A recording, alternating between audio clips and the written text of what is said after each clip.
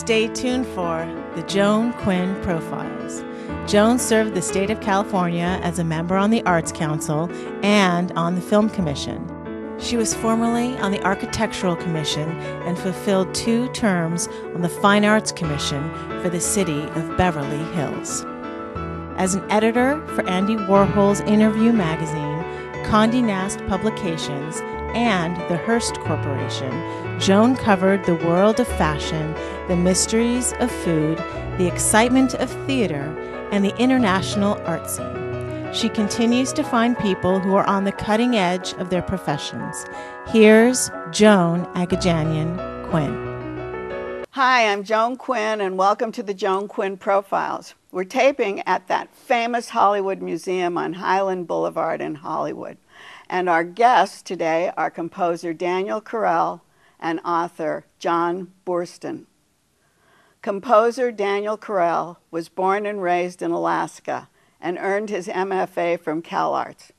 He plays a multitude of instruments, including the accordion. In fact, he's the musical director of the Accordion Orchestra and the musical director of Timur and the Dime Museum.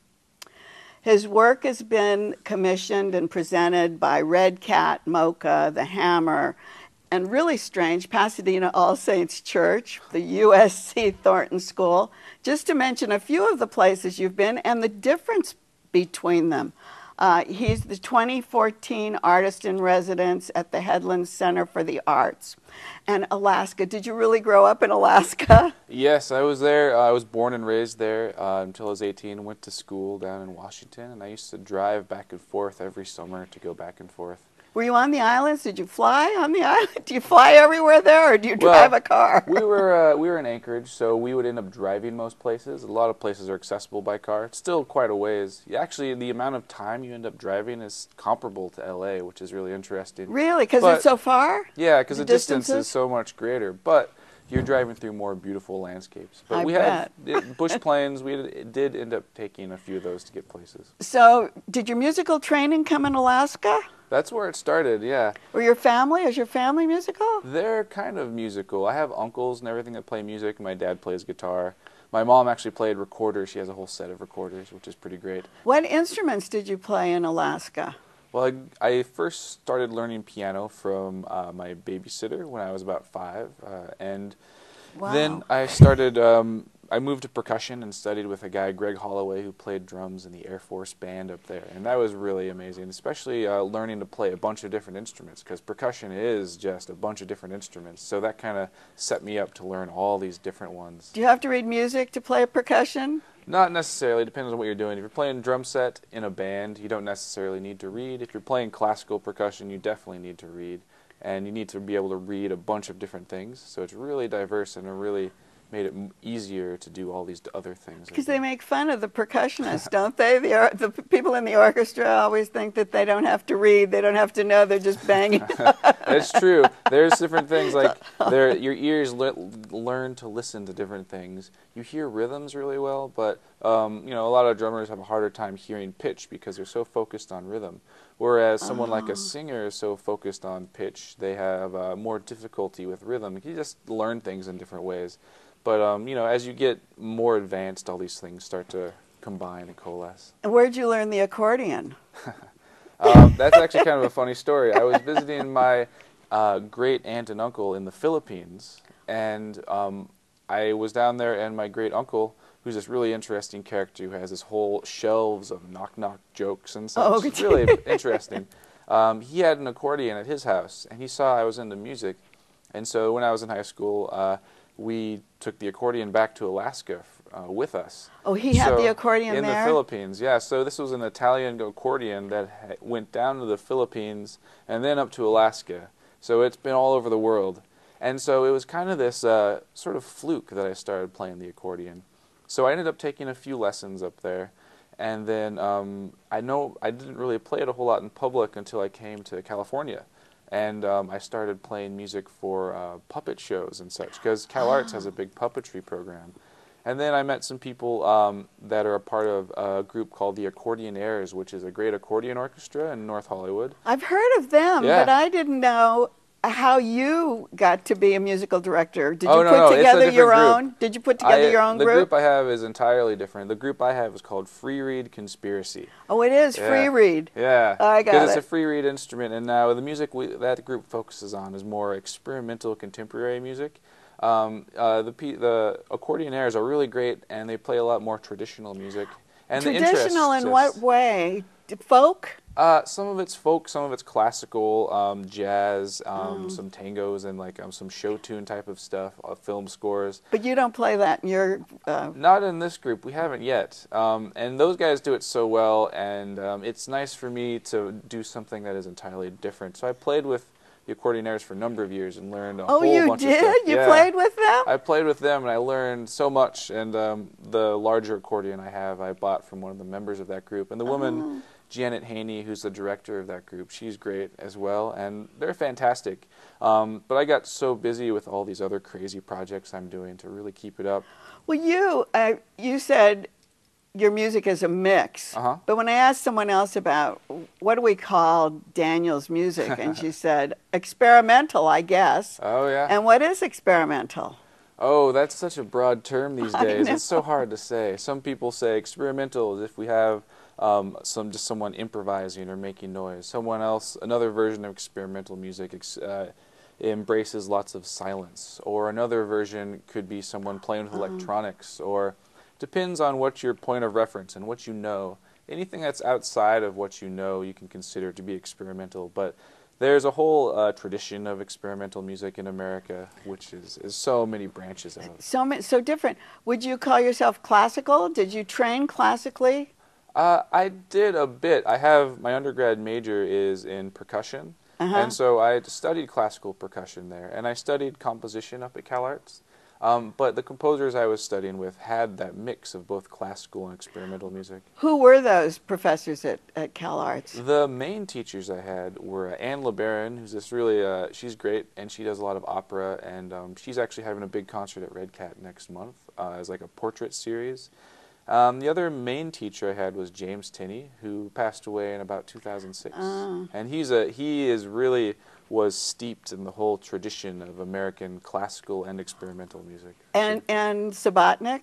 And Who was, to me, experimental. I oh, don't yes. know. Was he, he? Would, uh, he was, uh, um, by many accounts, you know, uh, one of the forefathers of electronic music. and that of Electronic. uh, experimental music. So did you take classes with him too? I took a few classes with him, yes, and um, I studied with him. He retired after my first year, and I felt like I Oh. met this perfect point where all these um, teachers that I really was excited to study with were there throughout this first year, and then um, uh, I, um, Tenney passed away, and Subotnick retired, and all these other uh, teachers left. So it was like, oh, uh, there's all these other amazing people here that I had not um, focused my attention on so much, and I'm glad I did because I got to really s- spend that second year studying with So, Anne. so you really did learn a lot, and you just Uh-huh. mentioned Red Cat because Yeah. one of the things I- I mentioned earlier was Red Cat, which is uh, the it's in Disney Hall, Yep. and it's the CalArts. Uh, what do we call it? CalArts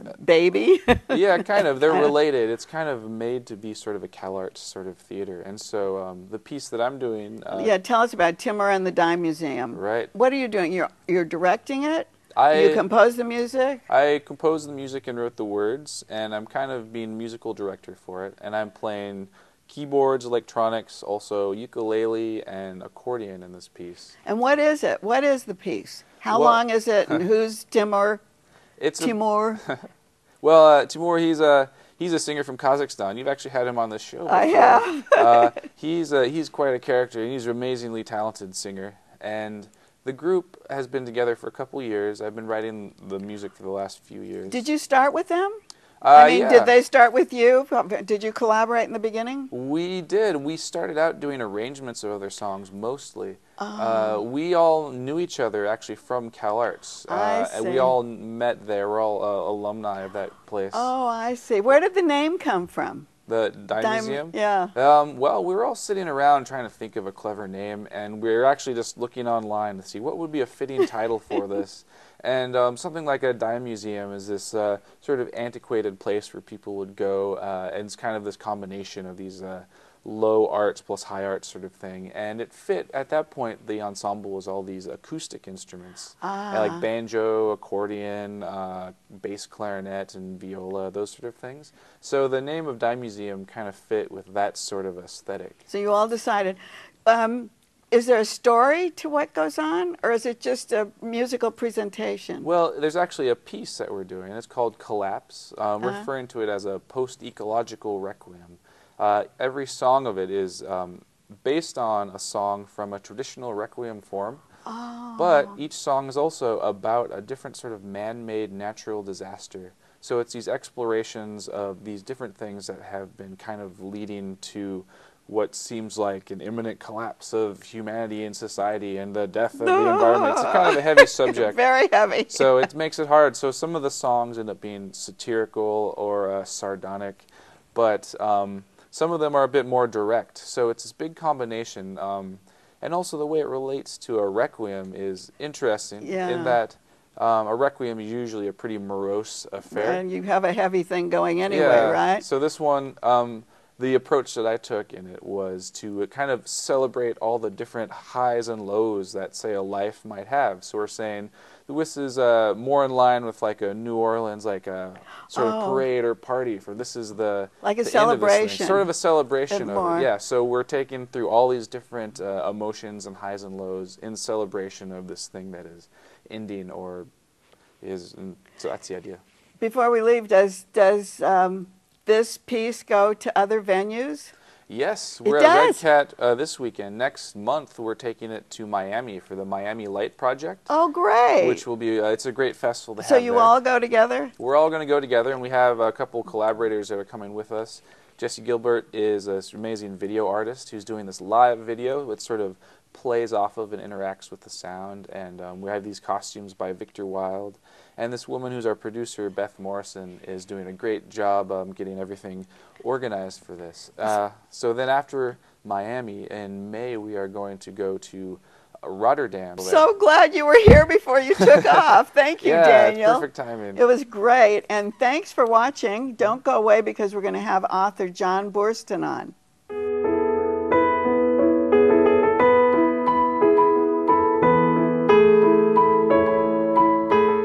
Joan Quinn, and welcome back to the Joan Quinn Profiles. I'm here taping at the historic Hollywood Museum, and we're in the old Max Factor building. I'm with author Jon Boorstin, who graduated from Harvard University with a major in Middle Eastern Studies, history, I guess.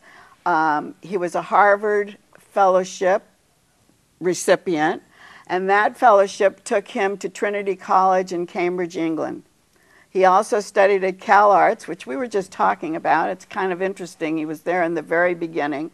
But it seems, Jon, history, fine arts, architecture peppered your education. When did you start to write? Well, you know, it's one of those things where none of it was preparation and it was all preparation. It was you have all to write about something. you Right. know?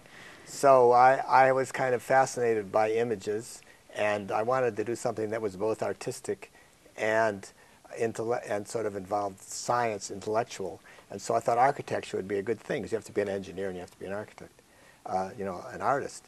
Uh, so then I discovered I couldn't draw. So that Did you just need a ruler? Nowadays, you have a computer, but in those days, so I, I spent two years in architecture school. It was a great time. I learned a lot, but I knew architect couldn't be an architect. But then I got the movie bug. I fell in love with the movies. and how did that happen? Uh, well, I, you know how I mean. You I, weren't from always- here. You weren't from I was, California, I was were sitting you? in. Uh, no, I was from Chicago, and I was sitting in. This was in Cambridge, England. So I found myself going to the movies instead of going to school, and I don't know. And and then I, I ended up making a documentary. I hitchhiked to Switzerland and bought myself a Bolex, from the kind you crank. Yeah. And then I, I made a little Right. documentary in Finland about a Finnish pulp mill. So you really were self motivated to yeah, do that. Totally. You I didn't wanted- take any film classes. Part of it was I wanted to do something that didn't involve a lot of education. Or 'cause I'd had school- so school. much schooling on so many things. I thought this, I want to just figure this out, which is the way the old filmmakers did it. That's why I was drawn to movies. At that point, that was before film schools had sort of had a lock on the thing. And historically, if films were done by people who knew nothing and just sort of learned by doing. But you, you said when you started at uh, Cal Arts, it was like the very beginning. It was in the old campus. Where was that? Downtown LA. No, no, that was in Burbank. Oh, in Villa Burbank. Cabrini in Burbank.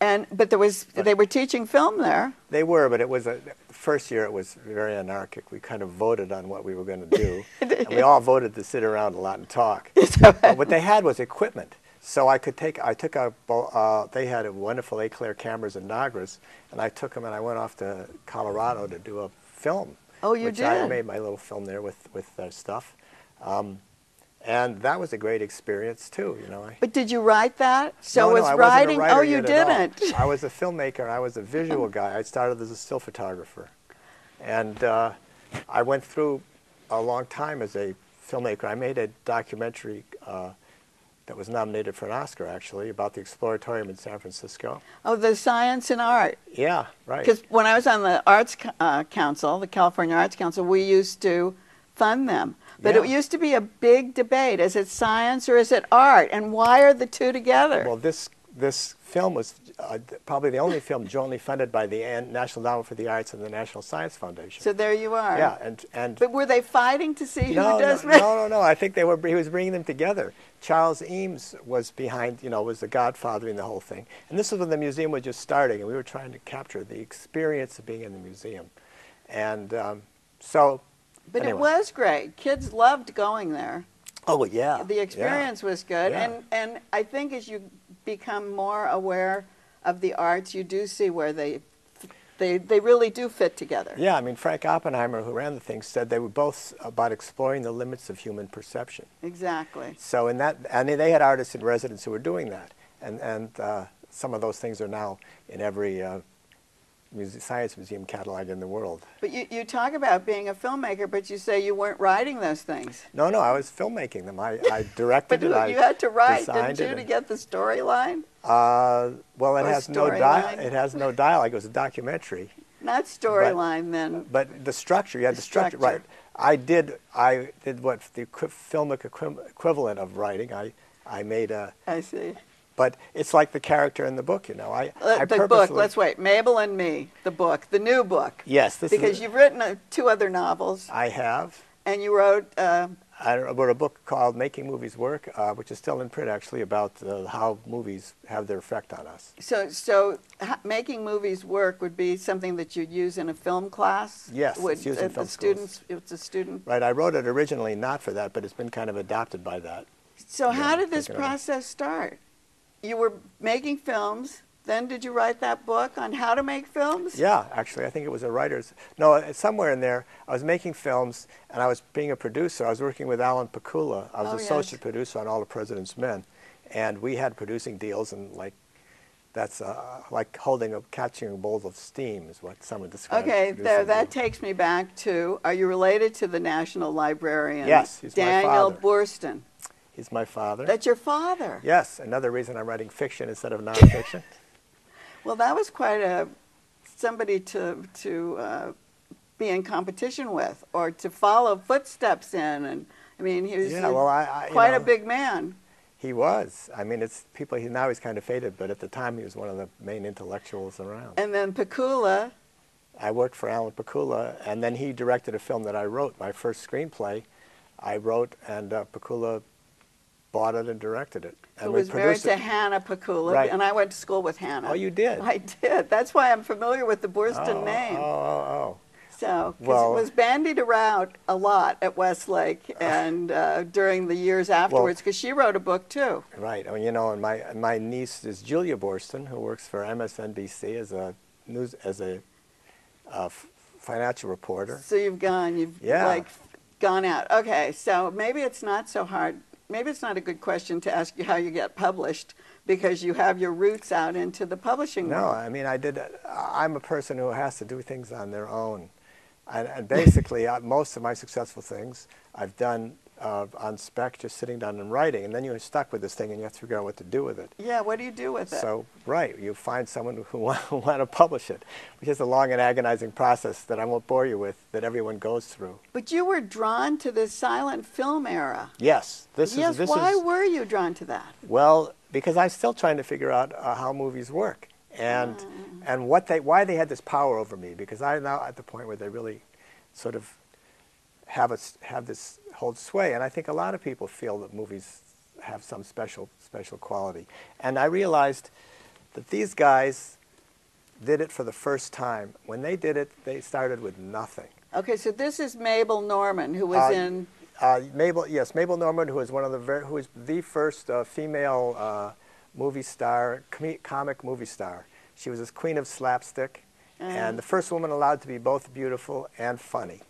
And, sh- and it's a novel. It's a novel. Why right, didn't you write story. it uh, not a novel? Well, first of all, it's more fun to write it as a novel. It's more interesting because the facts are all very vague. One of the other reasons I was drawn to the period is there's all these myths about it because everyone's written these, they're sort of self-serving biographies, which are all fascinating because they're great storytellers, but they all conflict with each other. So no, you, some, you know, you have to sort of pick your truth.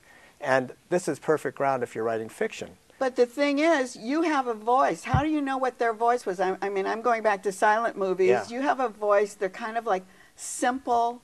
They Well, I- it's I- simple, isn't it? Well, I, I wrote this uh, in the first person, in the voice of the narrator, who's 14 years old when the Yeah. story starts, who's a guy like me who, is, who thinks in pictures. He's, he can barely read. And of course, he ends up being a screenwriter because what else do you do if you Yeah. can't read? but but uh, before, this is before screenwriters were invented. When, when Mack Sennett started hiring screenwriters, which he did sort of a year into this book, uh, he had a rule no pencil and no paper. You couldn't write anything down. If you wrote it down, it wasn't a movie. Is that right? Yeah, so that's where they were starting from. And that's another reason I love these guys. But you're so literate, and you are you the pen to pen to paper kind of I thing. guess it and was. You're It was, dealing, that's why I was always drawn to this. That's a good point. I mean, I was always, you know, I, I, yes, I came from a very intellectual environment, and I love the idea of just reacting to pictures and the, the emotion. I mean, Mack Sennett said that Mabel on screen was pure emotion. because she you couldn't hear her talk. No, right? but, also she was just had that gift that movie stars have of just just being transparent. so she didn't have to talk. No, and because she was, her. and don't forget, in 1912 there were no there were no women lawyers, there were no women doctors. If you had a woman lawyer, it was the subject of a big newspaper article, and so she, you know, she was free in a way women weren't in those eras. I mean, she used to wa- go to go to prize fights, and she she ra- raced cars, she rode bareback. She, she did all the things that men did and didn't apologize for it. How'd you compare it to today's woman? If you wrote a novel today about whoever's in the Well, that's a good question. today. See, I, I think, I mean, I, she, you know, a lot of uh, candidates for this, but I think that she is a good candidate for the first modern woman. Uh, because what she was doing in 1912 was by, night, by after the First World War in the 20s, that's what the flappers did. They Ah. were gay and, and, and Susie, she was called the I Don't Care Girl. So- but so- Mabel was doing this in 1912, 10 years before the flappers. Oh, oh. And so all the other women were in their tight dresses with those huge hats, you know, that looked like uh, Yeah. baskets. And uh, Mabel was just, uh, you know, running out there. But you're comparing her to the Flappers, but you said she was very slapstick too, well, right? I mean, she was there she a- was the queen of slapstick, and she was she was in a couple of hundred slapstick movies. Uh, but she was also a filmmaker. Don't forget. In those days, the distinctions Oh. between things. She was in the first movie where uh, that ever had a, a star's name on it, and her name was in the title, called uh, Mabel's Lovers. So Oh, she that's how early. That was in 1912. There were other women people just at that time, but. Oh. But basically, her life was the whole story of American movies. And she died when silent movies died in the late 20s. Uh, she was 37 years old. but Oh, in that period, she lived the whole story of American movies. How did you find out all of this information about her?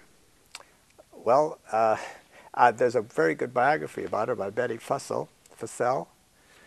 Um, but uh, and also, you know, you read about her. She aff- affected people. Were there Just- newspaper I was doing research because I was supposed to be uh, putting together a kind of history of the movies for um, the Academy. You know, they're building this museum, and I was drafted to do a very early version of the story of the movies for that. And so I got involved in reading these things about the early days, and, and uh, her name popped up. And then I saw this her life and how it affected people like Sam Goldwyn and uh, Charlie Chaplin. She directed Charlie Chaplin in his first movie as the Tramp. Oh, she did. Yes, So she knew about film. she knew about film when Chaplin didn't. Chaplin was a newcomer coming off, coming out of, and he was of course bra- Oh, brash and yeah. full of beans and thought he knew everything and didn't know anything about movies. And so she taught him about the movies and sort of freed him up also to be himself on screen. Um, And so this 14 year old takes us all through, starting with the bag of donuts and ending with the bag of donuts, right? Yes, right, right, right. Don't give away the ending, right? No, I'm just saying no, it know, starts with know, donuts and ends you. with donuts. And who's your publisher?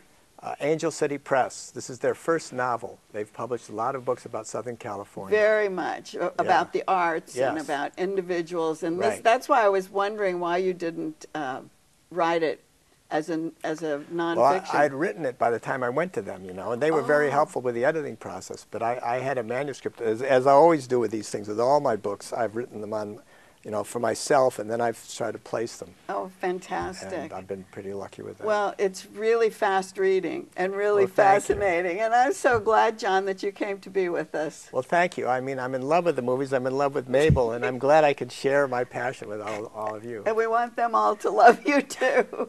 Keep writing. Love Jay. Mabel. You can Love see her on. You can see her on YouTube, by the way. Love Mabel. Yeah. Write to me at email J A Q U I N N 1 at AOL.com. We'll see you next time.